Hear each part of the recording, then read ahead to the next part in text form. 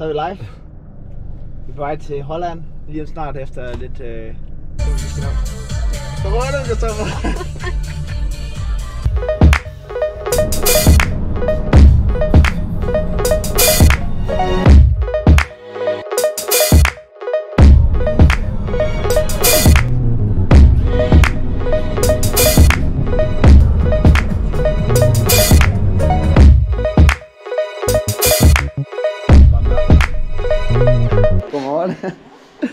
Så er vi kommet til Holland.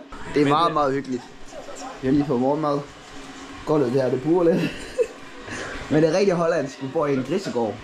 Så ikke har vi en mega fed udsigt. Wow. Klar til øh, den Yes. første cykeltur her i Holland.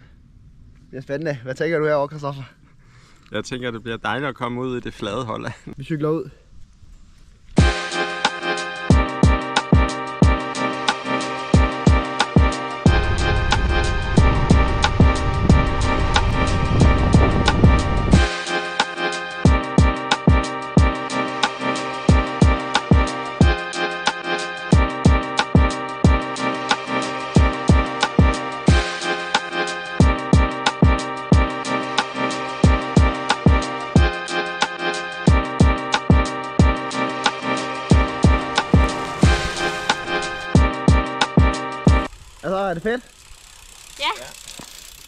Fed gravel, ikke? Jo. Yes. Så er vi øh, ude på ruten, og øh, den kommer til at gå herfra. Kom derovre fra, krydser vejen, og så kører man langs kanalen den her vej ud af. Så nu vil vi lige prøve at køre lidt på ruten lige og få øh, prøvet og se hvordan den er.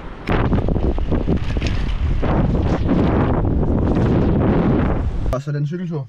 Øhm, vi var ude og prøve lidt af ruten, og det var mega fedt lige at prøve.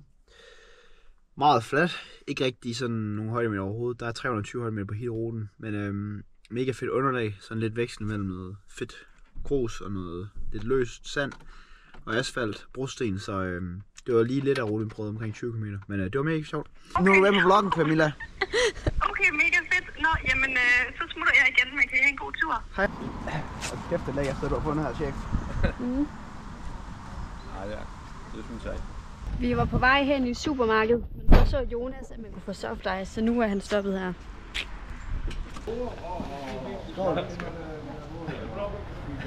Hollandsk skraldespand, det her. Kan du ramme, Christoffer?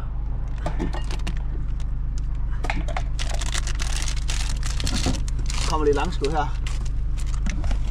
Skal jeg holde kameraet? Ja.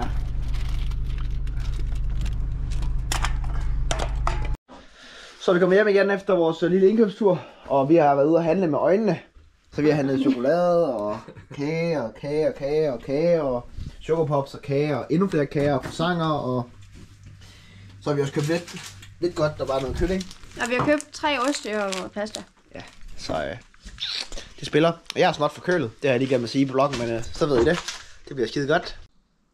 Så jeg vil lige prøve at gennemgå min øh, cykel til weekendsløb. Og øh, det var den her Ostro Gravel. Det vil sige, det er Ostroam, altså Factors landevejscykel, som er lavet om til at kunne køre gravel. Så det vil sige, den gjorde den bredere på forgaflen og bredere på bagdelen. Og den er faktisk stadig næsten lige så aerodynamisk som Ostroam. Øhm, 7,2 kilo monteret med 60 mm Black Ink hjul og med en 38 mm eller 38 cm bredt styr, 120 mm frempind, Black Ink styr også. Så har jeg SRAM Red 1 gange 12 øh, Explore-udgaven, og med vatmåler foran. Og så har jeg de her lidt vilde Challenge Strade Bianca 40 mm tubeless håndlavet dæk, som er fuldstændig glatte. Og det er lidt et sats i forhold til, øh, hvordan ruten er. Nu har jeg prøvet den af, og det virker til det rigtig godt. Øhm, jeg har valgt at have et smallere styr, end jeg plejer på, med fokus på aerodynamikken, øhm, fordi det begynder at betyde mere og mere på gravel. Så det er sådan ligesom øh, kort. Godmorgen, godmorgen, godmorgen. Så er vi tilbage til endnu en dag. Vi fik ikke filmet så meget fra resten af dagen. Men øh, nu er det morgenmadstid. Øhm, jeg er stadigvæk forkølet. Men øh, lidt bedre end i går, så det er godt nok. Og chokopops til morgenmad. Det er skide godt. Og så øh, skal vi, der er også de røgter. De røgter. Det er en øh, amerikansk, nej, øh, hollandsk øh, tradition her i Holland. Så må ikke se påførelsen af de røgter. Jamen, øh... Jeg tror bare, man kan sådan Det er meget fedt. Ja. Fedt, tak for det.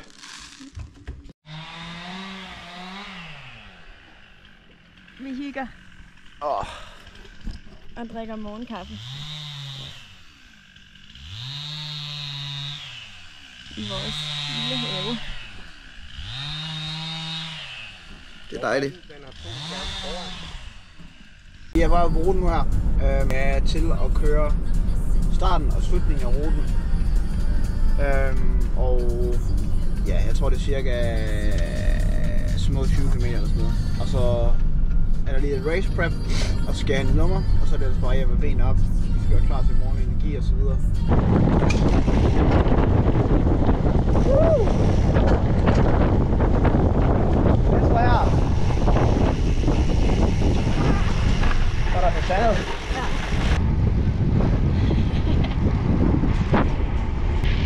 Totalt lækker grus.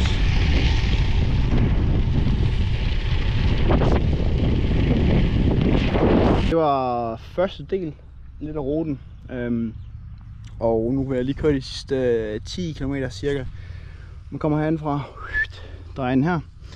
Og øhm, jeg mødte lige Muff og Victor, og de sagde, at øh, de havde kørt omkring 3 timer, og rest, og hele ruten havde været rimelig sandet og så videre. Men det er også det, vi har set indtil videre. Men øhm, jeg vil lige køre den sidste, og lige få bare en lille smule fart i benene.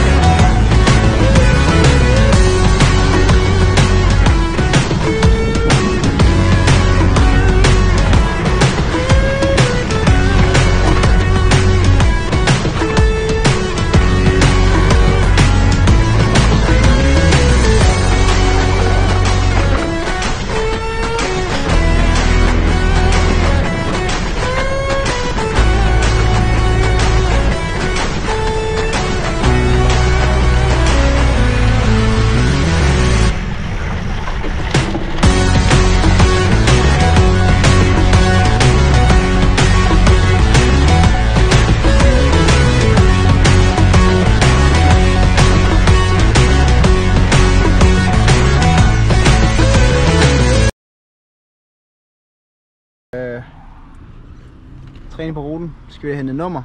Fed rute. Lidt til tricky afslutning med en masse sandsving, men det er jo kun til min fordel.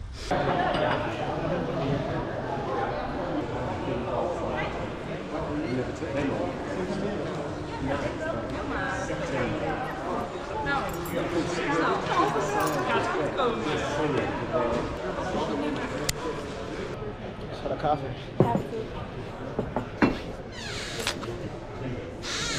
1, 2, 3. Nå, hvordan vil du rate latterarten? Det er en... Øh... Det, er- det, det er bedre end dig. Det skal der ikke meget til. nu skal vi ind og handle til aftensmad.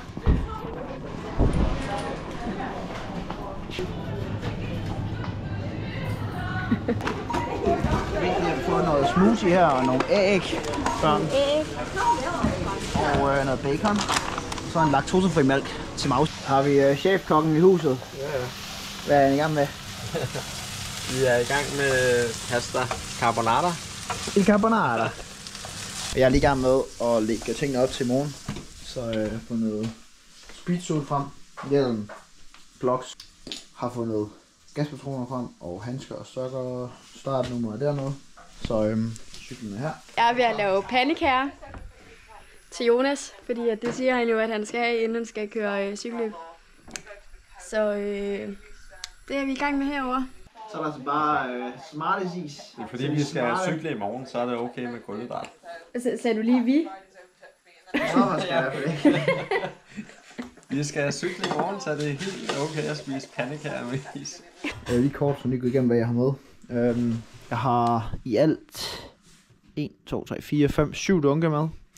Øh, jeg har vand i de her, og energi i dem her, så jeg har nok med energi med. Så har jeg G til start, 30 gram, og så de her ultrageler, 45 gram kulhydrat. To af dem i timen, to af dem i anden time.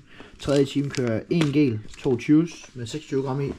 Og så afhængig af hvor langt løbet bliver, så slutter jeg af med de her juice og isogen, som er en gel, der rammer lidt hurtigere. Så har jeg koffeintabs med til før start. Mm. Og så har jeg været så heldig, at jeg i morgen kommer til at starte med nummer 123. Øhm, det fede er, at øh, ser der står der lille P, og det betyder, at øh, jeg har fået det, der hedder priority seating. Så det vil sige, at jeg får lov at starte en lille smule længere fremme. Øh, faktisk op i blandt de 25 første, så det ikke kommer til at være så meget overhaling. Så øh, 1, 2, 3, det er mit startnummer. Øhm, og cyklen spiller.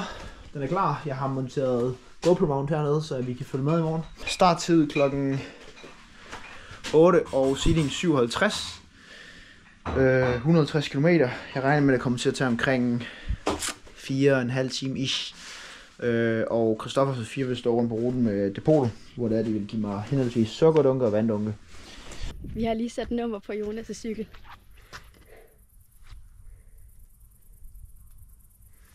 Den vigtigste del er, at det skal se godt ud. Ja, og være aerodynamisk. Det ser ikke så godt ud, men det er i hvert fald aerodynamisk.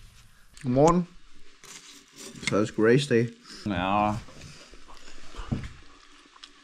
5, 53. 2 timer og 10 minutter til start. Øhm, og vejret ser mega dejligt ud, så det er fantastisk. Så er vi ved at være der. Der er 20 minutter til start. Nej, en halv time til start. Starten går herovre. Øhm, de to seniors er ready. Fedt. Nu monterer jeg på undersiden af min cykel, så øh, kommer jeg med og kører noget løb.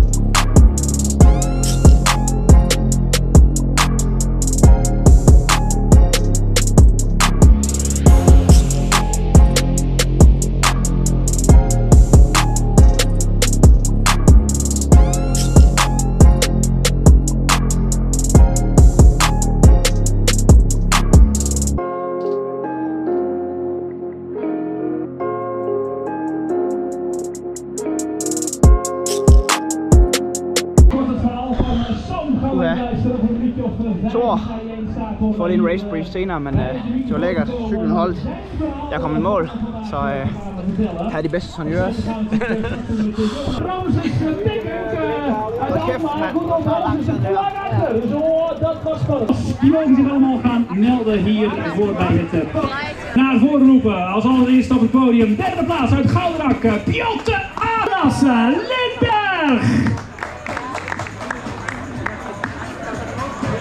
Lang eh, samengereden met zijn... Sådan, to medaljer. Det var mega fedt løb, og øh, Jeg har fået mig en ny ven. Sam Gademand. Fra Holland. Ej, det var fedt. Sam Gademand.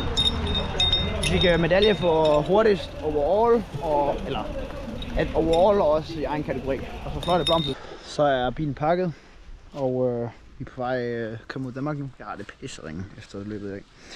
Men øh, der kommer lige en race brief, når vi kommer hjem. Men øh, nu skal vi hjem, og så øh, regner med, at vi er hjemme i Danmark omkring klokken 20, 30, 21 eller sådan noget. Så er vi endelig hjemme på Rogård.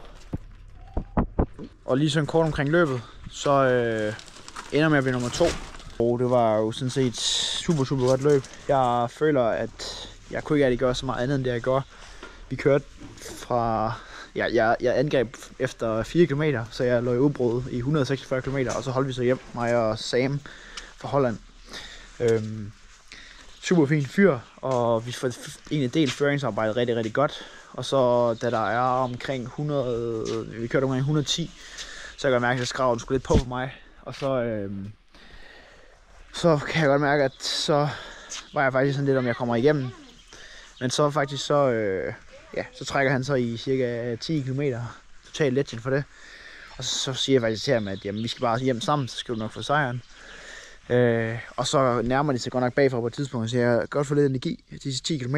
Og så får jeg faktisk fået rigtig godt igennem, og så er det faktisk ham til sidst, som sidder og næsten ikke kan holde hjulet. Men øh, jeg havde jo ligesom haft en aftale, og gentlemanmæssigt så var det også ja, var det fint. Og det betød ikke så meget for mig, om jeg blev et eller to i dag. Øh, jeg kvalificerede mig til VM, så det var ligesom det, der var målet med turen.